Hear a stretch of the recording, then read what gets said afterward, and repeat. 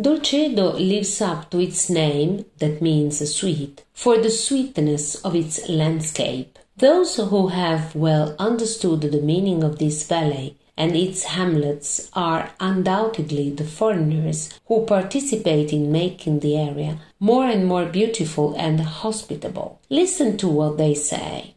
The western Ligurian territory is beautiful and find there what they don't have. Here there are ancient hamlets, olive groves, the sea, the mountains, and everything can be reached in a short time. In addition, there is no mass tourism and everyone can search for what suits them best. Those who have a long sight cannot agree more.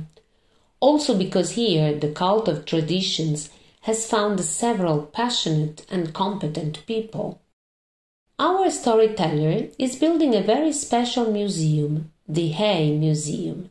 Ever since I was a boy, I was very attached to Montefaudo, where I used to go in July and August with my father to cut hay. I later discovered uh, through personal research that there were still 600 mules in Dolcedo in the early years of the 20th century.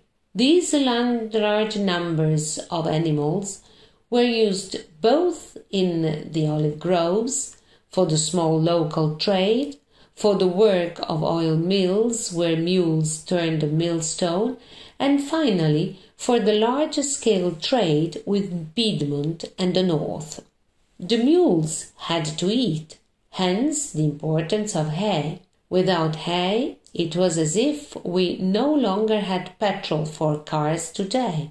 At this point, since there are only a couple of minor hay museums in Italy, I decided to make one as complete as possible. Dolcedo will also surprise you with the immense artistic heritage it possesses, and which, in an almost random way, continues to provide tasty surprises.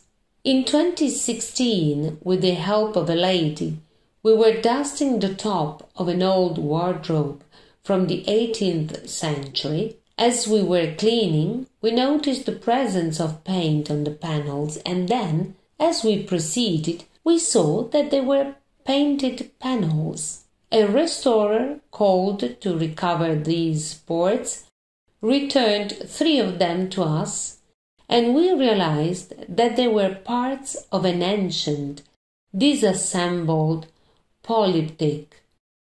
Further research made it possible to identify the painter who had painted them. He was Tommaso Biazaci, an important artist of the late 15th century. But also look at the incredible beauty of this crucifix.